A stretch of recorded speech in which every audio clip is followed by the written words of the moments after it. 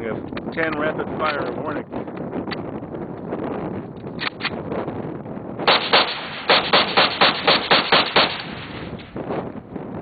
That was fast.